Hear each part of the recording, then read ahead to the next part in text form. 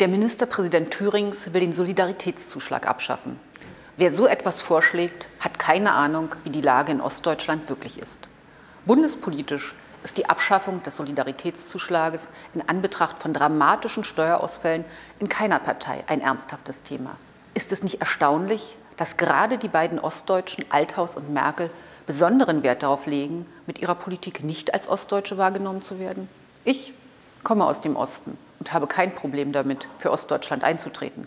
Im Gegenteil, denn ich weiß, dass der Osten unseres Landes seit 20 Jahren Experimentierfeld der Neoliberalen ist und dass es immer nur eine Frage der Zeit ist, bis das Experimentierfeld auf den Westen ausgedehnt wird. Die Linke will diese neoliberalen Experimente im ganzen Land beenden und wieder zu klaren Regeln zurückkommen. Regeln, die für alle gelten, auch für die Ackermänner und Zumwinkels in unserer Gesellschaft.